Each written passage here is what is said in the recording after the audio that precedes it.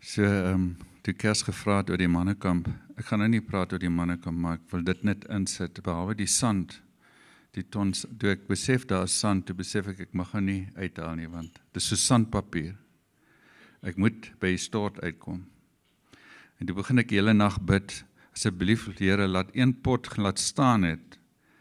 Ehm um, vir die toilet ook. So meer op die komieklike kant. En wragtig daai het gestaan. Ja.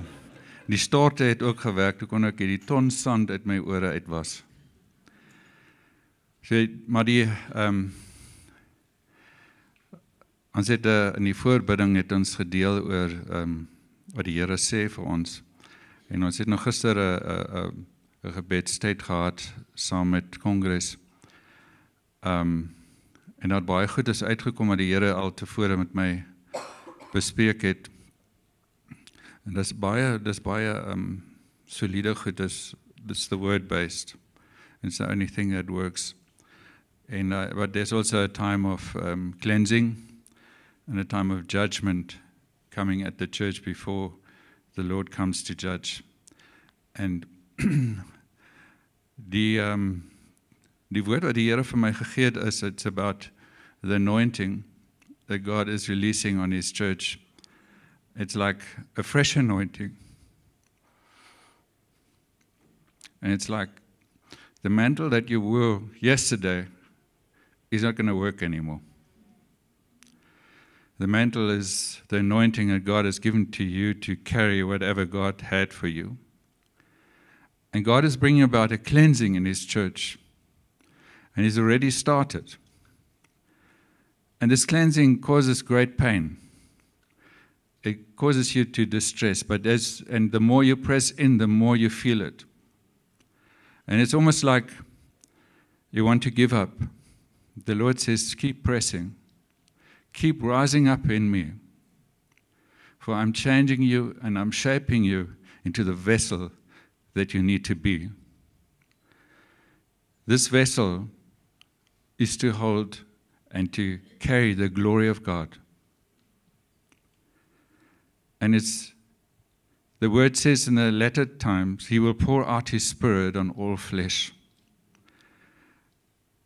And He's doing this work amongst us and in us, this cleansing and preparation.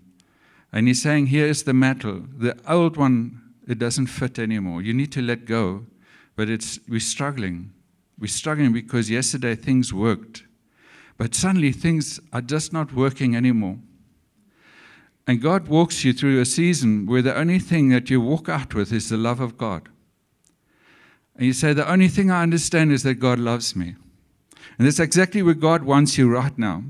He wants you to understand and feel and perceive that He loves you with everything inside of you. And yes, He will come and, and He will reprimand and He will change your heart. He will change the way you think. He will give you a new understanding. He will give you a mind of Christ to receive and uphold the thing. It's like you a vessel, you and I, and we are we are carrying the presence and the glory of God, and God is preparing us for this to be carriers of his glory, and that is the prophetic word this morning. You and I are carriers of glory, and God prepared Moses for this. He prepared Jesus for it. He prepared anybody that wanted to be used by God to be carriers of His glory. And He's not going to make a mistake and put His glory into something that's not prepared because it's not good for you nor for Him. And so that's that's it.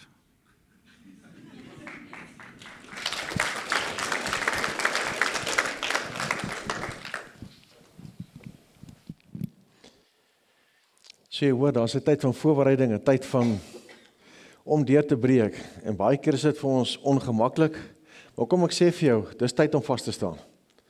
Ek wil vanoggend praat ek met jou uit daai selfe beginsel uit van die Here is besig om ons voor te berei vir die tyd wat kom. En uh dit gaan dalk 'n tyd wees soos ons nog nooit gesien het nie. Voor die Tweede Wêreldoorlog het niemand gedink hoe gaan dit lyk of kon hulle self indink hoe gaan dit lyk as 'n oorlog uitbreek soos gebeur het nie. Selfs vandag nog onthou ouens dit, word dit nog steeds gevier. Ons gaan in tye in waar ons nie weet hoe dit lyk nie, maar een ding weet ons, ons is stabiel rondom Jesus Christus, wie hy is. En ons staan altyd vas. Dit is tyd om vas te staan. Dit is tyd om seker te maak dat jy jou hart uitsorteer, dat elke ding in jou verhouding met God wat twyfelagtig is, dat jy dit sal uitsorteer. Is nodig om te kom met 'n plek waar jy kan sê, Here, ek wil hierdie ding vir myself vasmaak. Ek gaan saam met U deur hierdie ding loop. En daar's geen manier hoe ek gaan opgee of gaan wegval. Ek gaan saam met U deurdruk. Ons gaan volgende bietjie tyd spandeer om 'n uh, om 'n 'n paar beginsels neer te lê wat baie belangrik is want om vas te kan staan, moet jy besluite neem. Daar's 'n plek wat jy kies. En uh ek wil lees ons gaan begin met Deuteronomium 30 vers 15. As jy luister nou vandag, gee vir julle keuse tussen voorspoed en teëspoed, lewe en dood. Ek beveel jou vandag om die Here jou God lief te hê en om sy opdragte, voorskrifte en reglemente na te kom deur in sy weë te wandel. Ek wil jou die fokus hou op die Here God lief te hê en in sy weë te wandel. Dis twee goed wat baie baie belangrik is. Hy sê as jy dit doen, sal jy lewe en 'n groot nasie word. En die Here jou God sal jou en die land seën wat jou die punt is om 'n besit te neem. Maar as jy jou hart wegdraai en jy weier om gehoorsaam te wees, En as jy aangetrek word na ander gode toe om hulle te dien en te aanbid, dan waarsku ek jou nou dat jy verseker vernietig gaan word. Jy sal nie lank genoeg 'n lang en goeie lewe geniet in die land wat jy in besit gaan neem wanneer jy die Jordaan oorsteek nie. Die Here praat hier met 'n hele volk. En hy praat vir ons met ons as gemeente. Hy praat nie net met jou as 'n individu nie. As ons saam God liefhet, as ons saam in God se weë wandel, Ons leef in 'n Nuwe Testamentiese tyd. Ons leef in 'n tyd waar uh die die ou wette is nie meer gelde vir ons nie, maar daar is beginsels. Daar's reëls. Daar's 'n plek van hoe jy God dien. Daar's nog steeds 'n plek vir heilige lewe. Dit het nie verander nie. Om God lief te hê het nie verander nie. Wel baie belangrik om die ding vir jouself vas te maak is dat ehm um, ons is nog steeds by die plek waar God verhouding soek. Dis hulle weer oor en oor hoor. Hy soek 'n verhouding met jou, maar hy soek 'n verhouding met ons as gemeente. Wanneer ons saam sing ver oggend en ons aanbid hom, is daar 'n verhouding waarop hy reageer, want almal se hart is gerig op hom. En dit is so belangrik om hierdie ding te verstaan, is dat uh, God kyk na ons as 'n gemeente, nie net as individu nie. As jy dwars deur die woord gaan, jy kyk na die beginsels, dan oordeel die Here 'n volk as gevolg van die koning wat skeef gegaan het. Maar die volk lê. As jy gaan kyk na toe Joshua deur hulle is deur die rivier Jordaan suksesvol het Jerigo suksesvol ingeneem. Ek meen hulle so vol selfvertroue. Daar's ai, ag is dit klein dorpie. Nee, wat kos net 'n paar maande. Ek meen, ek meen hulle het oorgeloop van vertroue en daar verloor hulle en hulle is in sak en as. Nou wat het nou gebeur? Een man veroorsaak 'n mislukking. Hy was ongehoorsaam. So wanneer God na ons kyk, kyk hy na ons as 'n groep, as 'n as 'n gemeente en sê, "Sal julle my lief hê? Sal julle in my weë wandel? Sal julle as 'n korporatiewe groep betrokke wees by mekaar, verhoudings bou, mekaar ondersteun, oplig en bou? Sal julle daai eenheid vorm wat gemaak dat ek julle sal seën en julle saam by beweeg in die land van oorwinning?" Dit is nooit net 'n individu nie. Wat gebeur het met ons uh, westerse denke wat daar van uh, Europa en Amerika afkom is? en uh, die menseregte oefening maak ons altyd dink in terme van is about me. It's not about you, it's about the church. It's about God. It's about the people around you.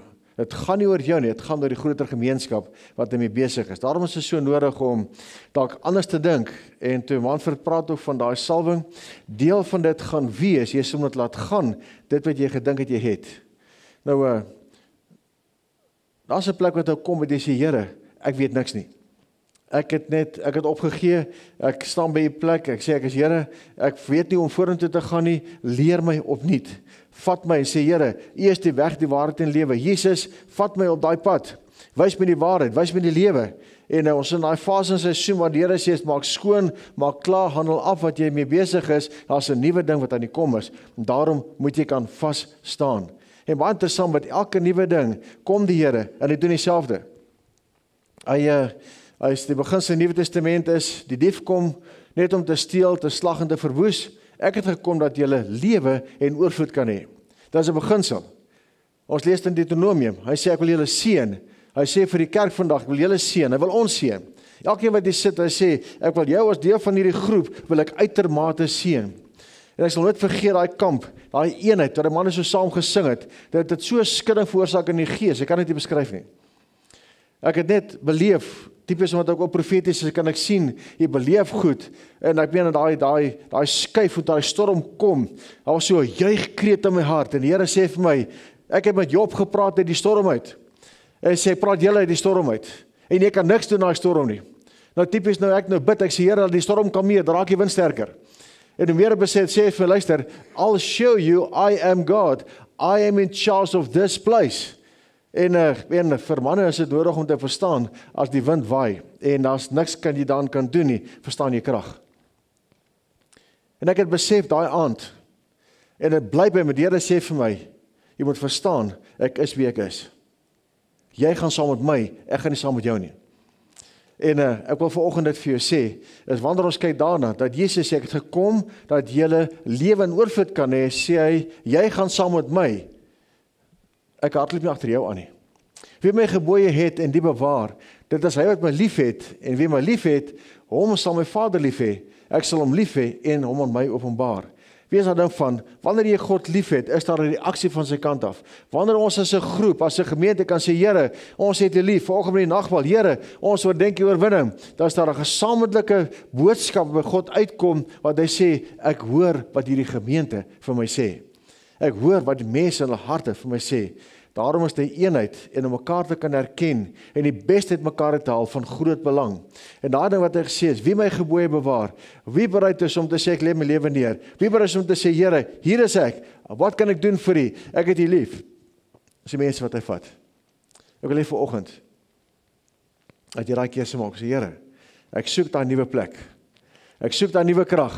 Ons sal later meer daaroor sê wat my groot opgewonde maak is die Here praat al geruime tyd met ons oor 'n ding van die seisoen wat verander, goed wat besig om te gebeur. Nou vanoggend sê hy dis waartoe dit gaan. Dis ou woorde wat jy lees, kan jy my opnuut lief hê? Kan jy jou liefde hersien? Kan jy seker maak dat jy my werklik liefhet? Kan jy seker maak dat jou verhouding korrek is?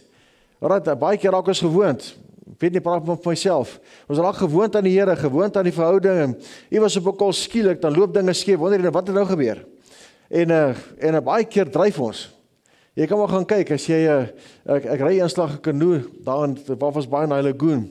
Nou waar die wind, ek kom nie uit waar ek wil uitkom en ek bly dryf weg want die wind druk jou. En baie keer gaan die wind van die lewe jou druk na 'n plek wat jy nie wil wees nie en dit was werk. Nou moet ek terug roei daar na die kant toe. Jy verstaan, dis hoogwater en die golwe kom in en goed gebeur. Almal kyk vir hulle, wag vir my en ek is al moeg en nou roei jy hierdie ding teen die wind in. Wat sê ek sê baie keer moet ou teen die wind in roei. Maar jy moet aanhou tot jy by die kant kom. Jy kan nie afvat ophou nie. Dan rus ek so 'n bietjie dan sien ek dan gaan die dan gaan die kanoe. As ek dit dit werk nie. Nou ja, nou probeer ek om uh, was ons nou vlak daar, so probeer ek my uh uh uh, uh die span in die in die modder insteek. Dit help ook hier. Hy druk hulle plat. Dit okay, dan moet ons hom insit en ek roei tot by die kant. Maar jy moet daai werk doen. Ek verwag van ons om te sê om lief te kos jou iets. Om lief te hê en saam met hom te loop, beteken sê Here, hier is my hart. Ek gaan voluit saam met U. Ek gaan voluit saam met U dat U my kan bekragtig en kan bemagtig. En uh nou lees ons in Deuteronomium, nou praat Moses met die volk. Hy sê vir hulle: "Wees sterk en volmoed. Hou moed. Moenie vir hulle bang wees nie. Hulle daar's verandering wat kom. Almal weet, hulle staan met die plek van die Jordaan." Nou daar het dit is die Jordaan 'n vloed, hy's 'n kilometer breed. Nou kyk hulle aan hierdie ding. Hulle onthou so vaag weg ons pa en ma wat al lankal dood is want hulle was stout. Hulle was deur die Rooi See.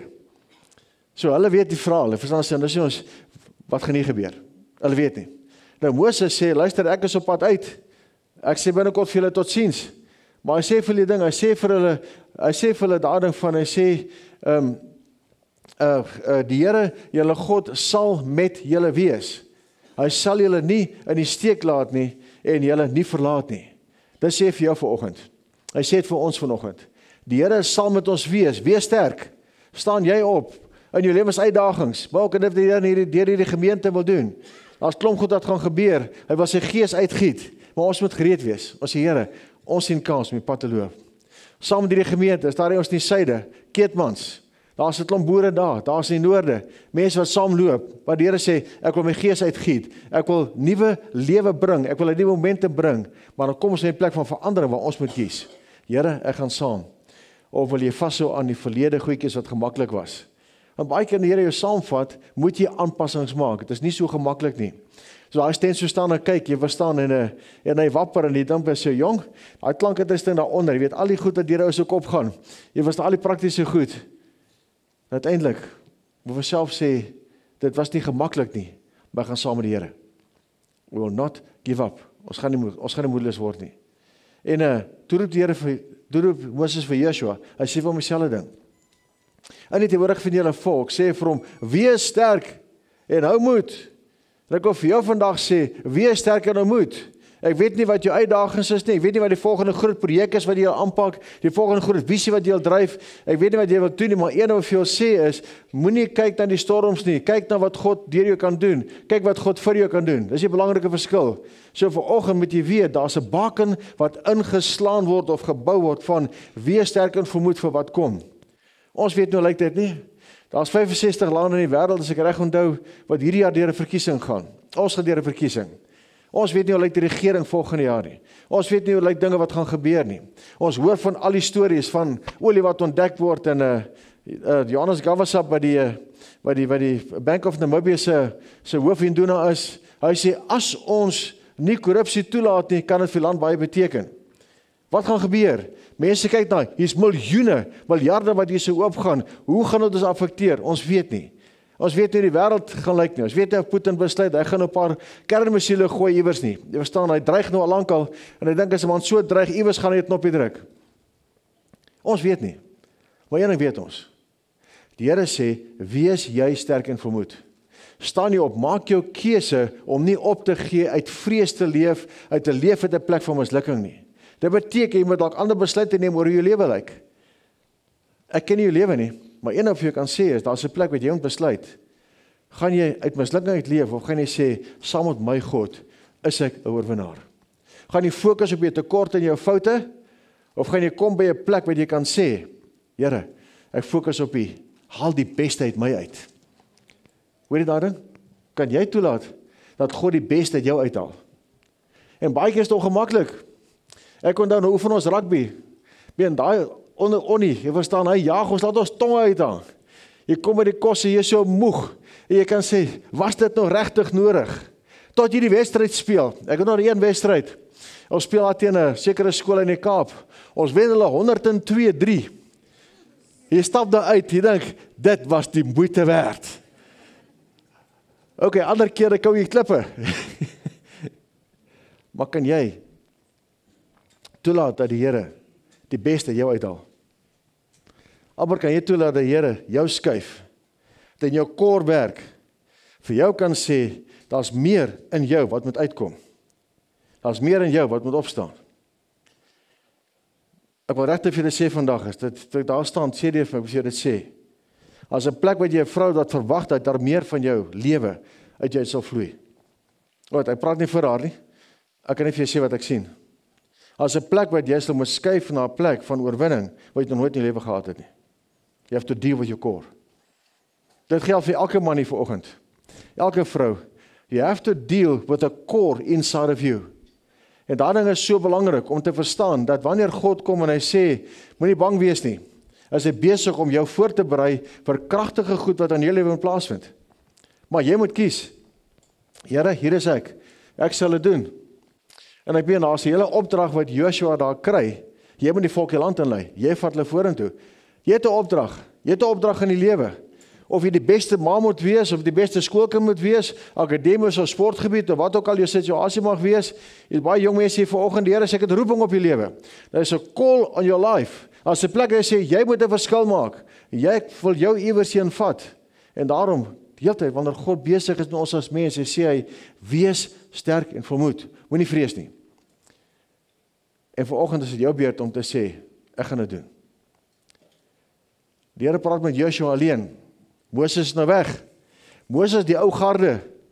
En nee, jy's maar ou oomies se besig so uit te passeer, verstaan? Ek dink ek is een van hulle. Hy praat met die jong manne vanoggend. Hy sê, "My opdrag aan jou is dat jy sterk en dapper moet wees. Moenie bang of huiwerig wees nie. Die Here, jou God, saam met jou oral waar jy gaan." Want jy het dit vat vanoggend. Kan jy sê jy's die volgende generasie? Wat 'n verskil moet maak. dat wie is is vir hom belangrik. Wat jy doen is vir hom belangrik. Hou jou dop, hy sien jou. Hy sê jou leierskap het nodig om op te staan.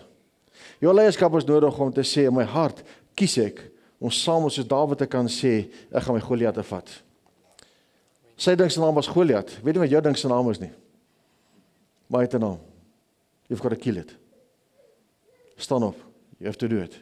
Ek wil regtig hier vanoggend wil net elke man in die oë kyk as hy kan vanoggend sê ja, called. Jy het 'n opdrag. Gemaak 'n verskil. Maak nie saak hoe oud jy is nie. Spot met die ouer garde.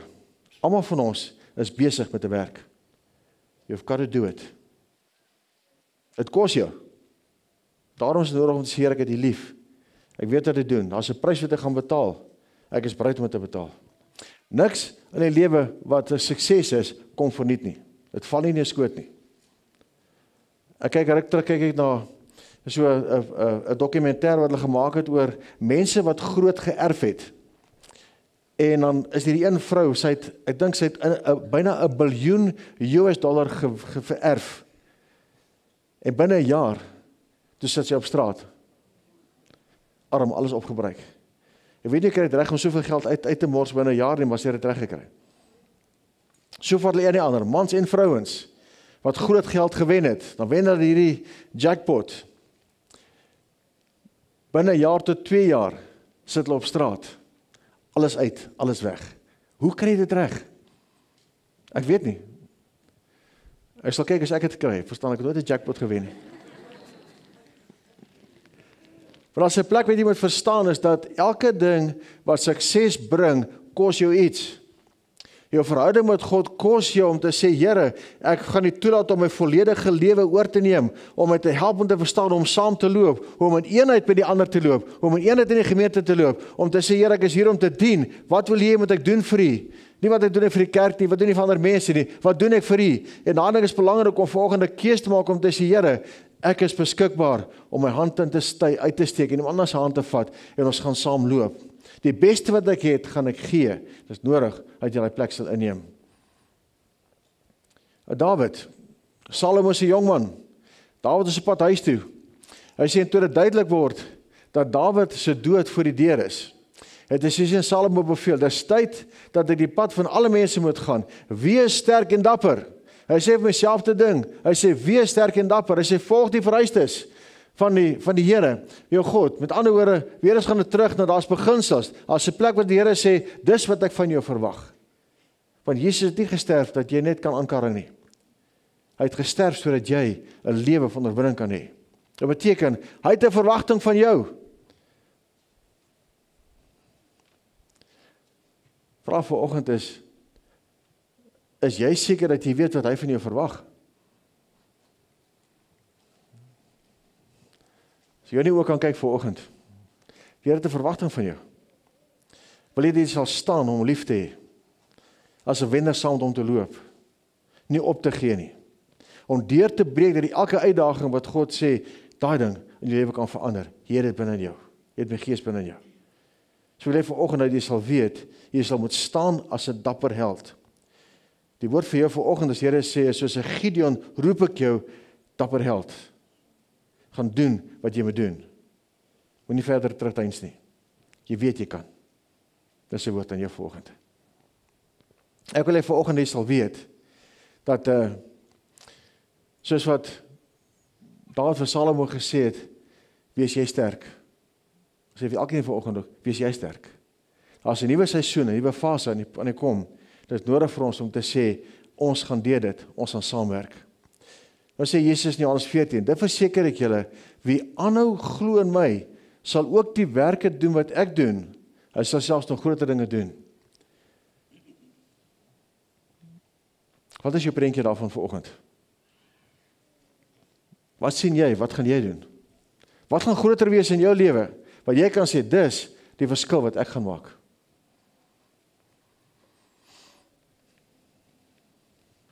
Weet nie wat verskil gaan jy maak? Besef jy dat God nie jou kyk vir oggend en hy sê dieselfde werk werk wat ek gedoen het, kan jy doen. Gee vir oggend kan sê daar's 'n fase in my lewe wat ek sê I will do what God says. This is my purpose, my plan. Never lose sight of God's purpose for your life. Ek sê altyd vir ons, ek is nog nie dood nie. Ek het nog baie om te gee. Jy het baie om te gee. Stand up. Do what you have to do. Vanoggend is dit God se hart dat elke man hier sal weet jy het 'n plek in sy koninkryk. Jy het 'n plek waar hy sê ek soek jou. Ek soek jou om te staan. Elke vrou wat hier is vanoggend, ek soek jou om te staan. Ek soek jou om te kan opstaan en jou plek in te neem. Dit is die Here, hier is ek. I will run with you. Daarom sê wees sterk en vol moed. Moenie opgee nie. Ons lê af met Agai hoofstuk 2 waar eh, die profete kom en vanoggend het Manfred bemoedig en sê kom mense, ons kan dit doen. En uh, die profeet kom daar by Seribabel en by Joshua, weet jy, die tempel lê in flarde in die kerk as jy kyk na die kerk in Hebreë vandag dit sukkel maar as groot uitdagings in die kerk. Liberale teologie wat ouens omgooi, goed wat gebeur, ek meen uh uh LBG wat LBGTQ, al hierdie goeters, woke nonsense. Soveel goed wat in die kerk besig is om plaas te vind waar mense dit vat, ons moet saam met die mode gaan plek om te sê dis verkeerd. Die woord van God sê, dis die waarheid. Wat sê woke? Jy kan doen wat jy wil. Identifiseer met wat jy wil. As jy met 'n padde wil identifiseer, wel, dis goed genoeg kom ek daag jou uit vanoggend wat te sê dan sê hierdie profeet hy sê maar skep moed sê die Babel skep moed. Joshua seun van Josadak die hoofpriester sê die Here ook al die mense wat nog in die land oor is moet moed skep. Hy sê vandag vir julle kom ons vat dit kom ons bou dit wat God wil bou. Kom ons bou 'n kragtige eenheid waar God se gees kan uitgiet dat die wêreld sal sien daar's 'n koning wat leef. Dat die wêreld sal sien want as hier aanbid is daar nog 'n skudding. Ek het skielik gesê Here, as jy daai weer kon skud. En ek weet jy het bestel, dit saamgewerk met die manne wat aanbid het, maar ek sê as dit daar kan gebeur, kan dit hier gebeur. So ek het 'n verwagting dat ons hier gaan saam aanbid en daar gaan 'n skudding kom. Die Here gaan hierdie plek skud. Ek het baie keer dan droom ek daarvan, Here, hierdie gedoen handelinge. What about this place? Ek wil net saam begin glo dat die Here hierdie plek sal skud. 'n groot individu gaan oor kan ons hom toelaat. Kan ons sê Here, ons verwagting is u gaan dit vir hierdie plek doen. Hy sê vir hulle skep moed en doen die werk want ek is by julle, sê die Here die Almagtige. My gees sal by julle bly soos ek julle beloof het toe julle uit Egipte getrek het. Julle moet glad nie bang wees nie. Wanneer die Here begin om te deel met jou en 'n deel met jou lewe, dan is daar onsekerheid. Baie keer is daar vrese. Waartoe gaan ons? Hoe gaan die ding gebeur? Wat vir sê is, daai vrees kan maar doodslaan. Saam met God is die uitkoms altyd goed. Is jy altyd 'n wenner.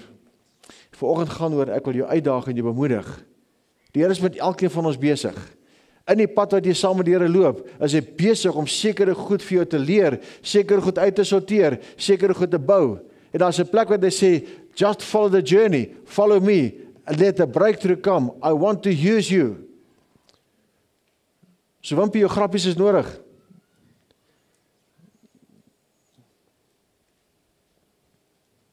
Deur as jy oog op jou. Hoe jy vandag sê. You've got a purpose and a plan. Moenie opgee nie. Ek wil hê met die breek. So ek lê vandag dat jy sal weet God het elkeen van hulle raak gesien. Hy ken jou by die naam. Hy weet wie jy is. Hy weet waar jy is. Hy weet wat jou uitdaging is. En daar's 'n verwagting dat hy sê stap saam met my. Skep moed. Wees dapper. Wees dapper. Alraai, jy kan sê wel my broek bewe maar die baas is nie meer bang nie. Raak ons draai om. en jy kan sê vandag as jy Here ek kies om u toe te laat om my te vorm, maar ek kies ook om saam met u te loop en te gaan doen, verskil te maak van dit wat u wil ek moet doen. So vanoggend wil ek hê dat jy in jou hart sal opstaan te sê Here, ek kies. Ons gaan hier afsluit met daardie ding van die gees van die Here sal in ons midde bestendig bly. Waar ons hier bymekaar kom, wanneer ons as Hebron manne bymekaar kom, wanneer ons Radiant vrou bymekaar kom, wanneer ons in die groeigroepe bymekaar kom, gaan die Here se gees bestendig wees om met jou te praat, met jou te deel. Daarom is dit nodig om betrokke te raak by 'n groep waar daar verhoudings is. Ons het mekaar nodig om saam te groei. Jy kan nie alleen groei nie. Jy dink jy groei.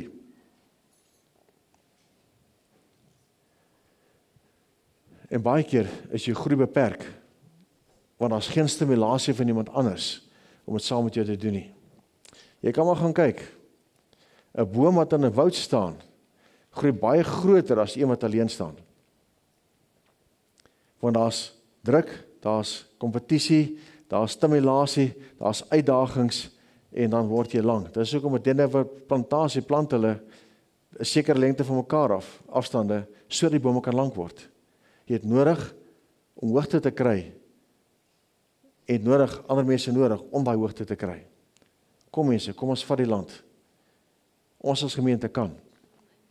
Ons het nodig om net in eenheid te kom en kyk wat God kan doen. Want as die Gees uitgiet hierso. Kom ons bid. Vader, baie dankie vir die voorreg wat ons kan hê vir oggend om te kan weet. U is ons koning, U is ons leidsman. Dankie Here Jesus dat ons kan weet U het oorwin. Daarom kan ons oorwin. Hy sê nie verniet vir ons vandag wees sterk en vermoed, wees dapper. Here, want daar's 'n oorwinning wat op pad is. Maar om daar te kom, moet ons kies om saam met U te beweeg. En baie keer Here, as ons sekere holklop ons maag kry, soos jy daar die lug uit spring, uit 'n valskerm spring, al die goedes Here, ons bid vandag Here dat wat ook al vir ons beplan, ons wil saam met U beweeg. Of dit 'n rollercoaster is wat ons nie verstaan nie, maar Here, en ons ons sal deurdruk aan die ander kant ons weet saam met U sal ons altyd aan die ander kant uitkom as oorwinnaars in Christus Jesus. Ek seën elkeen vandag om op te staan. Ek seën elkeen vandag Here om deur te breek in die plek waar hulle is. Vader ons maak reg vir 'n nuwe kleed om aan te trek, vir 'n nuwe salwing wat U vir ons wil gee, vir 'n nuwe toerusting vir die seisoen wat kom, Here. Ons wil laat gaan van die oue. Ons wil elke sekuriteit wat ons vashou, laat ons los. En uh dankie Here dat ons kan instap in 'n nuwe plek waar ons sê, U vat ons, U leer ons opnuut vir die nuwe seisoen wat kom in Jesus se naam. Amen.